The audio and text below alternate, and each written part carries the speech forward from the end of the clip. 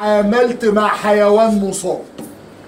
أهم تعامل هنا هو ال unpasteurized milk. يبقى أنا شربت لبن مش مبستر من حيوان infected ومعلش بقى اكتبوا جنب pasteu- unpasteurized milk اكتبوا and cheese السنة اللي فاتت لما جابوا السؤال جابوا unpasteurized cheese فهي هي. في ال mode of infection يا جماعة. مكتوب unpasteurized milk اكتبوا and cheese حتى الصورة لو أنتوا شفتوها هتلاقوا مش بس اللبن اللي موجود ده جبن كلها كمان. طيب السؤال بقى. إيه كان؟ والله لا أنا حلفت طبعا فمش هكسر حلفاني عشان خاطركم خلاص توقعوا بقى ما يسركم دلوقتي. ومش هرجع تاني لأن هي الحصة خلاص الله ربع ساعة. ماشي؟ محدش يزعل. بصوا آه حاجة كمان بتجيبني غير ال milk وال cheese السلطات بصفة عامة. فهو الكتاب كاتب مثلا حاجة زي الكول سلو عارفين بقى؟ ليه الفيروس بيجي في السلطات آه sorry البكتيريا بتيجي في السلطات وملهاش حل؟ لأن البكتيريا دي بتستحمل درجة حرارة التلاجة. اللي هي أربعة؟ ده هي بتحب البرودة أصلا. وبالتالي لو السلطة فيها بكتيريا ودخلتها التلاجة ولا هيحصل للبكتيريا حاجة. هتفضل البكتيريا موجودة. طيب يبقى إحنا كده خلصنا ال mode وال source of infection. خش على ال virulence factor هما حاجتين. أول حاجة البكتيريا دي intracellular حد فاكر يعني إيه intracellular زي ال TB. يعني هتعيش معظم حياتها جوه ال living جوه الخلية العادية. وكمان survive inside ال macrophage زي ال TB أكتر خلايا بتحب تعيش جواها ال epithelial cells وال liver. دول اللي بتحب تتكاثر جواهم فأنت عندك macrophage و epithelial cell و liver. طيب تعالوا بقى الحاجة الثانية هي عندها toxin واحد بس اسمه listeriolysin من اسمها؟ الأول قولوا لي يا جماعة لما أقول لك lysin كده متوقع إنه بيكسر مين؟ RBC بالظبط. كلمة lysin يعني بيشتغل hemolysin يعني لما أجي ازرعها على طبق ال blood هتعمل أي نوع من ال hemolysis beta hemolysis طيب أنا يهمني بقى هو ال listeriolysin ده بيعمل إيه جوه الجسم؟ ببساطة. هو ده اللي هيخليها intracellular إزاي بقى كله يبص على السبورة؟ هو عندكم رسمة؟ بس أنا افضل تبصوا على السبورة. بصوا يا جماعة. آدي خلايا في جسمك أهي. دخلت مثلا liver cell.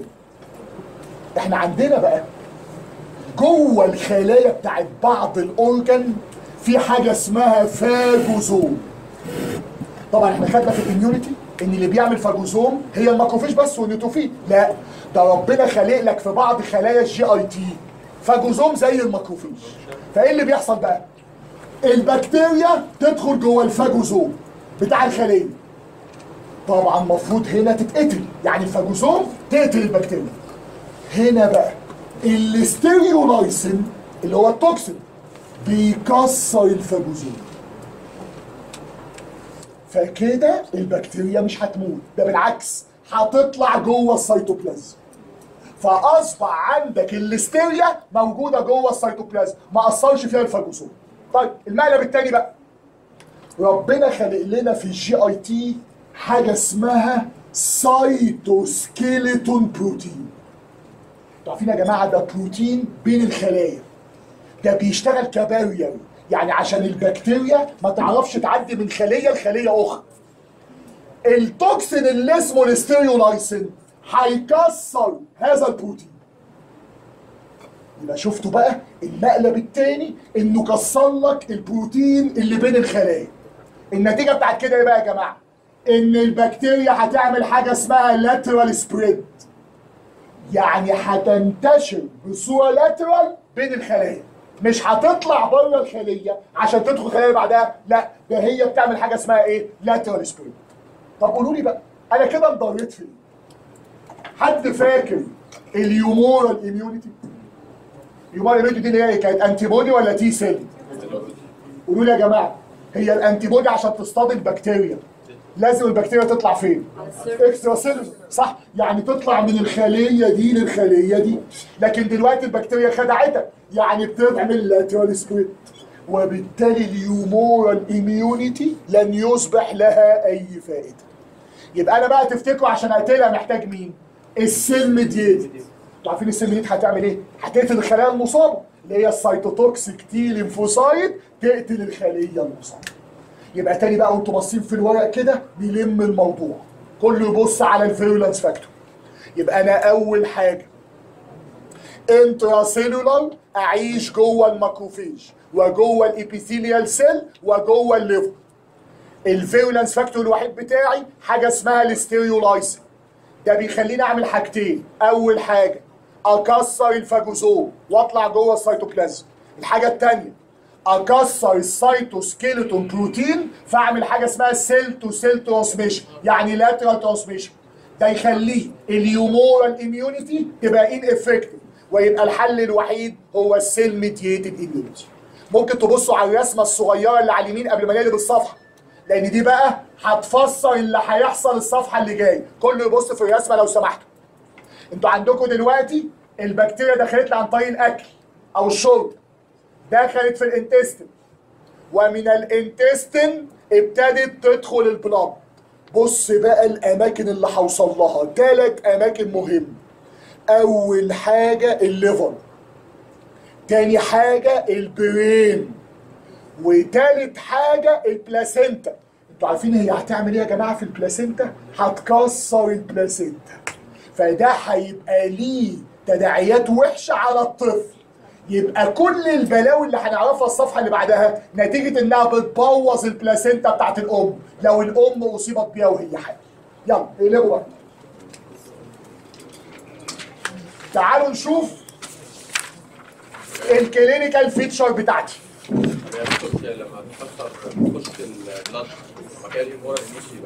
آه موسى بيقول لي حاجة كويسة وكل مرة بتسال فيها آه موسى بيقول لي إيه؟ طب يا دكتور هي بتخش ال blood وتعمل bacteremia فأكيد ال antibody هتتعامل معاها. طبعا. بس المشكلة إيه؟ وأنا في ال organ هل ال antibody عرفت تتعامل؟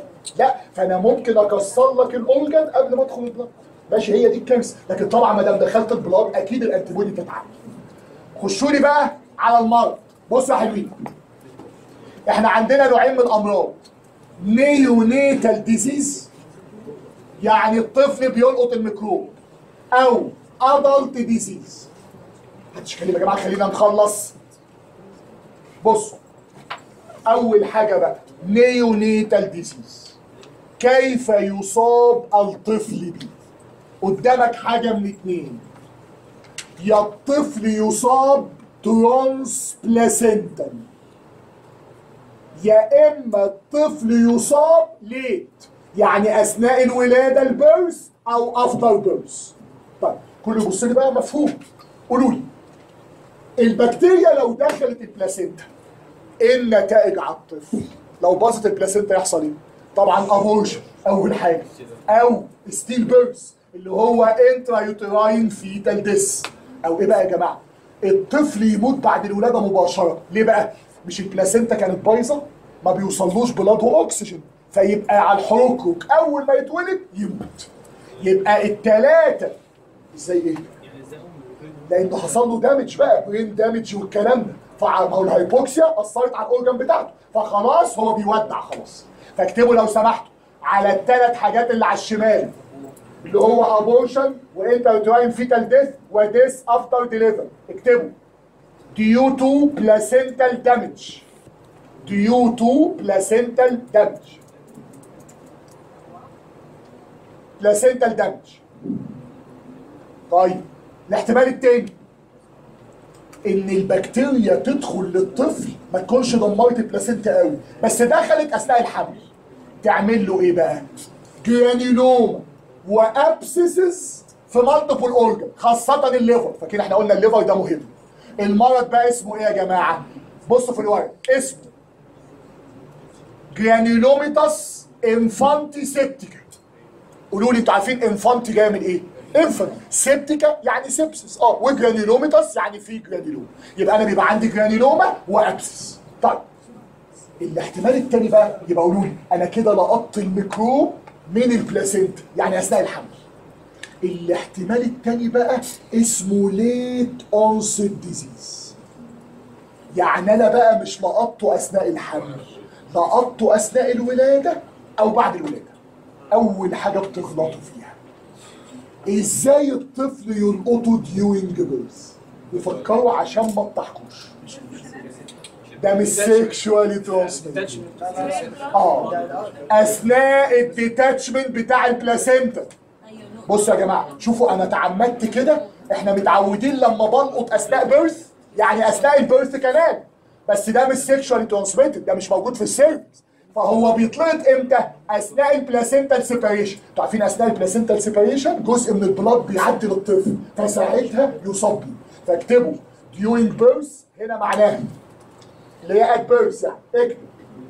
During placental separation. مش عن طريق ال birth canal خالص. During placental separation. طيب دي أول طريقة. الطريقة الثانية بقى. القطه من المحيطين بيا. يعني الدكاترة أو أفراد العائلة by droplet في الحالتين بقى عارفين المرض اسمه إيه؟ neonatal meningitis and septicemia وعشان كده بصوا فوق على الشمال الصورة اللي أنا حاططها لكم لل neonate وقولوا لي الصورة دي كانت موجودة فين قبل كده؟ في ال strept agalactiae. في عيلة ال cocci لو أنتوا فاكرين. كان في بكتيريا اسمها strept agalactiae دي اللي بتعمل neonatal meningitis وكنتوا هتلاقوا فيها نفس الصورة بالظبط. وعشان كده بصوا دي دلوقتي.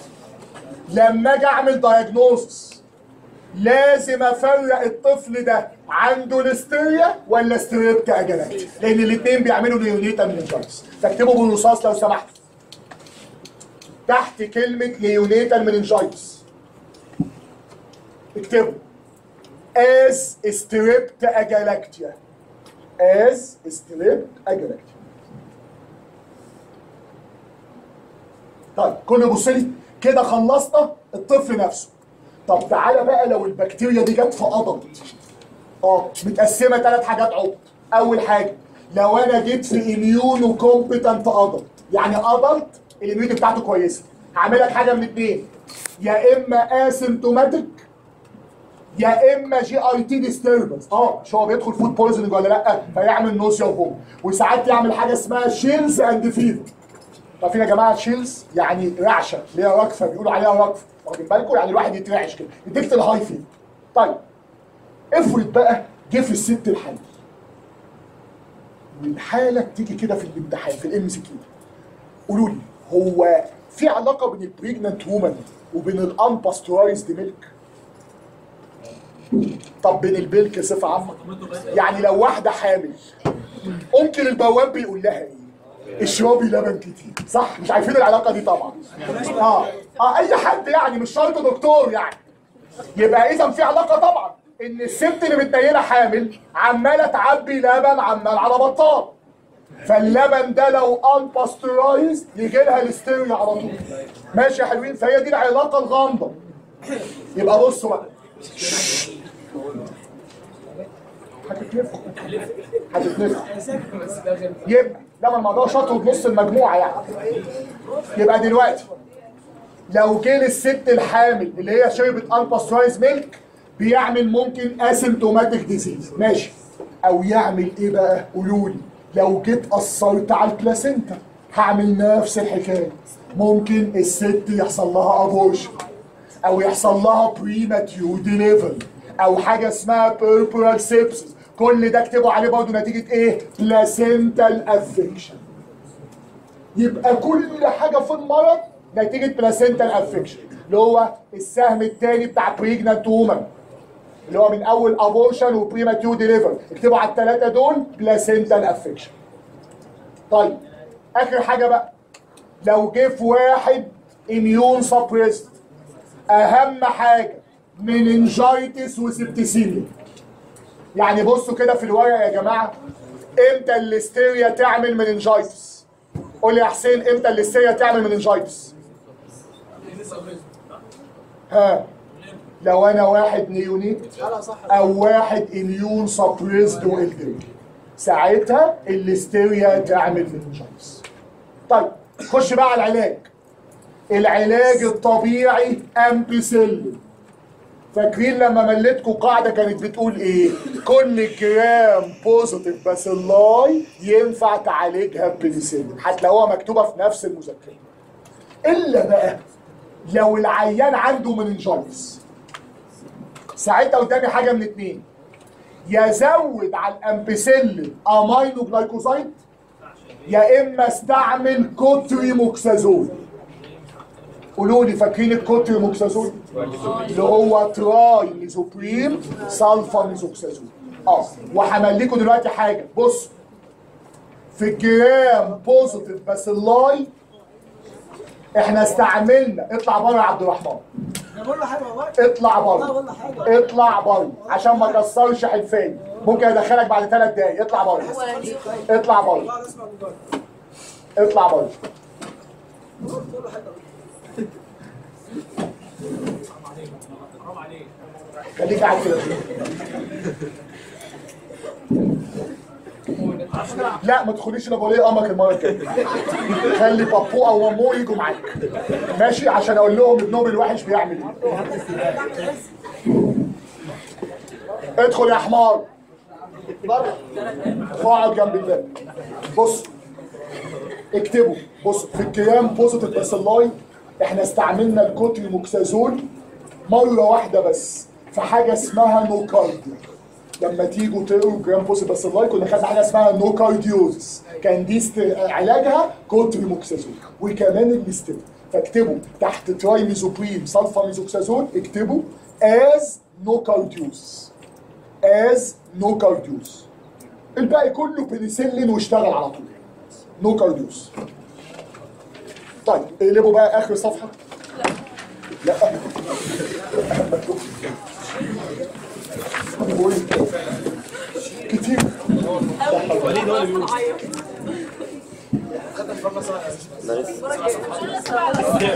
آه هي بقت 7 ل 10 لو عديتوا ال interruption فعلا عندكم هم الخمس دقايق دول لو لا آه لو عديتوا ال interruption. طيب بصوا نخش بعد كده.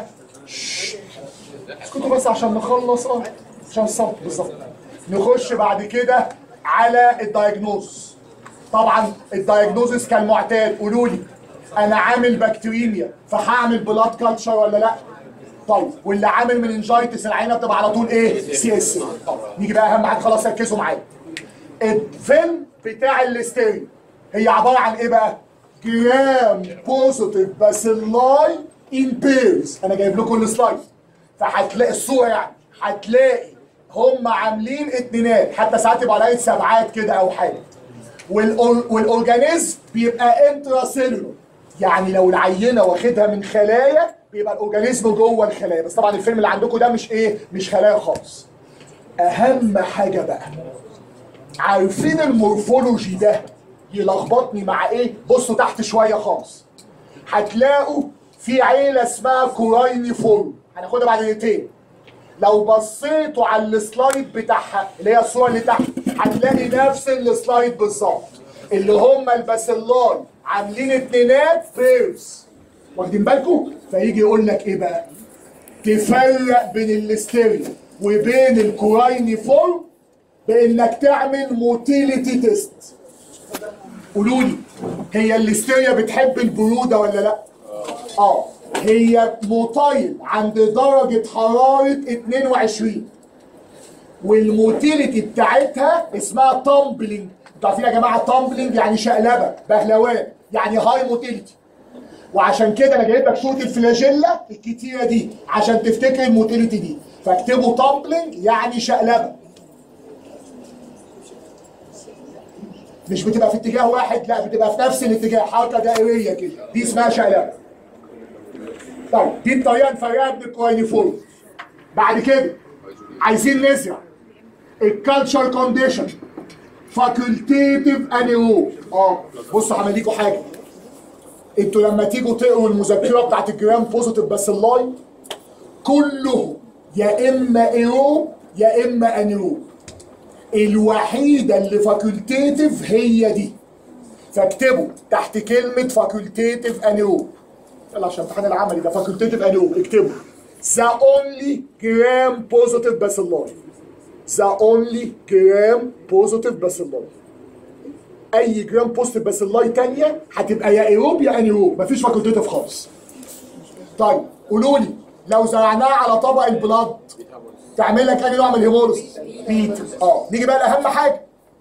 لو جاي لي طفل عنده neonatal meningitis هي bacilli دي اتكلم بقى بتاع لقيت أنا إيه خلاص زهقت. بص الناس اللي صفحة كمل بقى لو جاي لي طفل يا حمار وهو عنده neonatal meningitis مش إحنا قلنا الاحتمال يبقى يا agalactiae يا إما ليستيريا بنفرق بينهم إزاي؟ بقطة. حد فاكر القطة؟ كاتاليز. آه فاكرين عيلة ال strept كانت catalase negative. لكن ال Listeria catalase positive فأنا جايب لك صورة القطة هي عقبال خلفك عشان تفتكر كلمة كاتاليز ماشي؟ طيب. آخر حاجة بقى. عندنا حاجة اسمها coryneform تكتبوا عليها MCQ فقط. يعني دي ما تجيش في ال written. coryneform بصوا يا حلوين. يلا يا جماعة عشان نخلص. ناخد وقت الحصة الثانية بناخد فيها وقت رهيب. الأولى دي بتبقى كده. منكم لله بصوا أنتوا عارفين العيلة دي إحنا ليه مسميينها coryneform لأنها تشبه ال Corynebacterium أنتوا لما تيجوا ترجعوا لأول صفحة هتلاقي عيلة ال Corynebacteria حاجة اسمها ديفتيريا وحاجة اسمها coryneform طيب إيه الفرق الجوهري ما بينهم بقى؟ الديفتيريا pathogenic لكن ال coryneform flora. وطبعا قولوا لي لما أبقى فلورا عشان أعمل disease لازم ال immunity تقل ولا لأ؟ عشان كده بنقول عليها opportunist طيب مين هم بقى ال coryneform مقسمينهم اتنين aerobe و anaerobe شايفين مفيش حاجة اسمها facultative خالص في ال gram positive بس ال aerobe ثلاثة والاسم يغششنا واحدة اسمها ulcerans تفتكروا ال ulcerans هتعمل إيه؟ ulcer دي فلورا في ال skin. لو حصل أي damage في ال skin تعمل لك ulcer طيب. واحدة اسمها xerosis دي بتعيش في ال conjunctiva وتعمل eye disease حد عارف يعني إيه xerosis؟ آه dryness آه كلمة xerosis يا أحمد يعني dryness جفاف.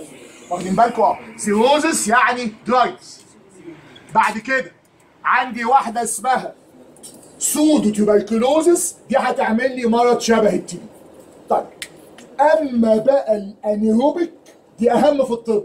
ليه بقى؟ دي أحد أسباب ال acne vulgaris عارفين acne vulgaris اللي هو إيه؟ حب الشباب ليه بقى؟ دي بتعيش فلور بتقوم مطلعة إنزيم اسمه lipase. بيكسر ال lipid بتاعت الجلد.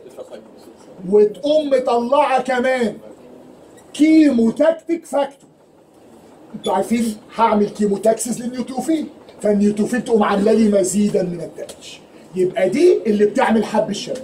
آخر حاجة بقى. كيف تفرقها عن الدفتريا قولوا لي مش إحنا مسمينها coryneform عشان بتشبه الدفتريا إحنا بنفرقها بحاجتين. ممكن تبصوا على السبورة؟ فاكرين لما خدنا الدفتريا كنا بنقول عليها Chinese letter آه أفكركم. كانت ال bacilli بتاعت الدفتريا طويلة ورفيعة وراكبه على بعض عاملة زي الحروف الصين. هنا لا. بصوا بقى الصورة. هتلاقي ال bacilli عاملة اتنينات أو ساعات تبقى palisade آه عاملة زي قضبان السور palisade هي مش واضحة قوي عندكم في الصورة. المهم عمرهم ما بيبقوا راكبين على بعض. يعني عمر ما في Chinese letter appearance الفرق التاني بقى. بيطلعوا على nutrient agar طبعا لو أنتوا فاكرين الدفتيريا ما بتطلعش على nutrient agar فاكتب لي على ال diagnosis لو سمحت. اكتب لي على ال diagnosis. Differences from diphtheria. ال diagnosis ده اكتبوا عليه. Differences from diphtheria. اقعدوا ساكتين لمدة دقيقة عشان أقول لكم مستقبلكم الاخضر لا مش معين بص. طبعا أنتوا عارفين؟ آه. بصوا عشان الناس تلحق الصلاة.